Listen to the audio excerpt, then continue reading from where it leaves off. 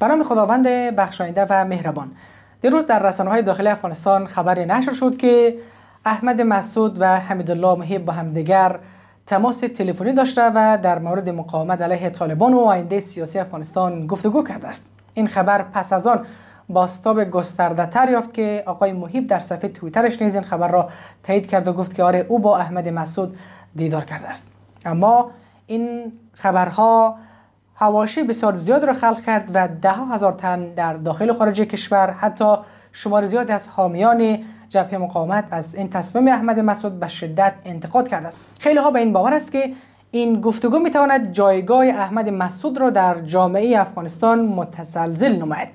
با این وجود این گفتگو چه زمانی صورت گرفته است و آیا واقعا تأثیری بر جایگاه احمد مسعود در بین مردم خواهد گذاشت و آیا احمد مسعود باور و اعتمادی به حمیدالله محیب دارد یا نه؟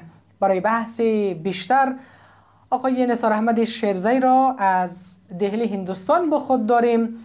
آقای شیرزی سلام بر شما. در اول می‌خوایم سوال از شما بپرسم که چرا احمد مسعود با محیب دیدار کرد؟ محیبی که به باور شهروندان کشور در معامله افغانستان سهیم بود. محیبی که در تقاعد دادن بسیاری از جنرالان اقوام غیر پشتون در ارتش افغانستان و پلیس افغانستان و امنیت ملی افغانستان سهیم بود. و حمیدالله محیبی که حتی در امی اواخر هم به صورت غیر مستقیم اکثر جاها برای طالبان لابگری کرده است. آقای مهادی درود و خدمت خودت و بینندای محترمی که ما را می‌بینن ملت سنجیده افغانستان. دقت کنیم اصل دید و ها تماس گرفتن ها به خاطر منافع بزرگ مردمی افغانستان یک اصل پذیرفته شده است.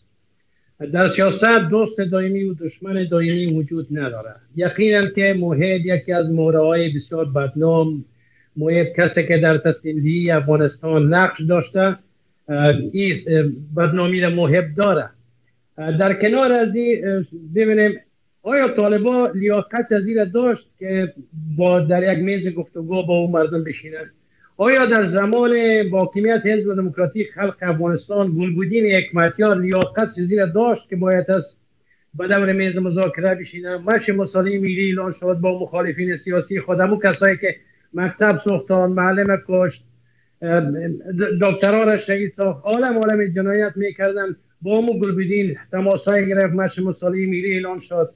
به این شکل زمانی که دور اول حکومت طالبا بود قهرمان ملی شهید احمد مسعود به خاطر منافع بزرگ ملی افغانستان. حتی بدون بادیگارد ها رفت با طالبه که با سرنوشت از این کشور بازی کرد. آیا کار غلط کرد شهید احمد مسعود که رفت؟ به خاطر حفظ منافع ملی با طالبان ملاقات کرد. این ملاقات ها اینا هست است. اما این صحبتی که آل برسانه این درس کرده این صحبت تازه نیست.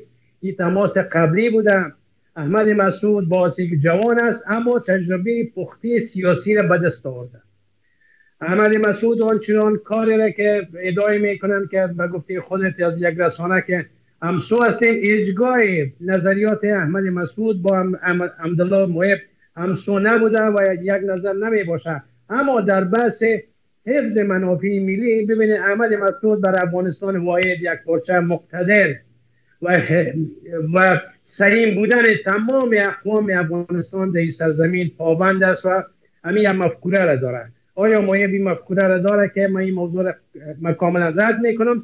خب صحبت های شده تماسا داره یک رهبر حق داره به خاطر باز اکرار می‌کنم به خاطر تحکیم وحدت ملی به خاطر حفظ مسائل افغانستان صحبت ها و تماس ها داشته باشه اما این تماس ها و صحبت ها به معنای دیگه است که احمد مسعود همسو شده یا هم فکر شده یا پذیرفته محبه محب تلاش می‌کنه یک آدم از زنگ زده صحبت کردن ایران در گذشته بوده اما حال چوری دست کرد. ببینید دشمن به خصوص وایسایی در تلاش ازی است که جبهه مقاومت به خصوص رهبران ازبک هزاره تاجک و به خصوص رهبری جبهه مقاومت تضیف بسازد. در بین مردم یک در نوع تفریق بیاندازد من از دیروز تابال فضای مجازی رو می‌بینم که بسیار کسایی که در تا نزدیک به جبهه مقاومت است واکنش داشتن اما دید سیاسی بزرگ می‌خواه این مسائل. احمد گفتم یک دید سیاسی بزرگ پیدا کرده که چگونه به خاطر امو بلست آوردن هدف خود که هدف شما هدف امو آسایش مردم افغانستان است آزادی افغانستان است تحکیم دموکراسی و حفظ امو دستاوردهای حداقل چندین صد ساله ما یا افتخارات افغانستان باید حفظ شود افغانستان چی شکل از این بحران نجات بیافه احمد ای درایت داره که با کیها چه رقم صحبت کنه؟ یک تماس آمد شد اما این تماس معنای از نیست که باز به این اندازه پرداز دادنش کار دشمنای جبهه مقاومت به خصوص این رقم پرداز دادنش و هر آن کسی که این زیاد می‌خواه پرداز بده. شما دقت کنید یک صحبتی که چند قبل شده بود دوباره اینا میارن نشر می‌کنن. هدف دارن اینا. هدفشان بدنامسازی جبهه مقاومت است و هر کسی که در این راستا خلاف واقع میشه و این در نوزم دگام انگلاج میته و تبلیغ می‌کنه آب در آسیای دشمن میان جناب آقای شرزه پس این دیدار چی زمان با مزارت این تماس چی زمان صورت گرفته؟ و آیا تصمیم برای هم هست که آقای مسعود در آینده هم این تماس ها را ادامه بده و با آقای محیب همکار باشه و واقعا تا آقای محیب بتواند در مقاومت علیه طالبان و جبهه مقاومت کمک کند؟ آقای مولودی صحبت در ماه اپریل صورت گرفته. این صحبت صحبت تازه نیست. در ماه اپریل یک کس زنگ زده. این شکل من به مسابقه یک آدمی که فعال سیاسی هستم هر آن کس برای من زنگ می‌زنه. برای من بعضی کارشناس های طالبان زنگ می‌زنه بعضی کارشناس های دیگان زنگ می‌زنه. کسایی که در همون مورای سوخته که حالا دیگه ارزش ندارن اونا هم تماس گرفت. از رهبرای قوی هم تماس گرفت. به این معنا نیست که من تسلیم از ما شدیم. در ماه اپریل یک زنگ آمده یک صحبت شده. خب یک صحبت کردن رسم اخلاقی هم است که به زنگ یک آدم جواب بده. اما به معنای از این نیست که همسو شده احمد مسعود با محه با تکرار می‌کنم کسایی که این نشر صحبت آل باز دهی تاریخ دهی شرایطی که ببینید در بدخشان جمعی مقاومت جان گرفته در تخار جان گرفته حرکات بسیار شدید در پیشیر و اندراب از شورای مقاومت تاواله بود. در حتی در ولایت های پشتوی نشین مقاومت ها شکل گرفته در هرات و قندهار و در اکثریت ولایت ها همیال بگرستا تقریبا در 19 ولایت مقاومت جریان داره نیروهای ملی و مترقی هر روز در کنار مقاومت یک جای میشن در مخالفت طالب یک جای میشن. چی شکل؟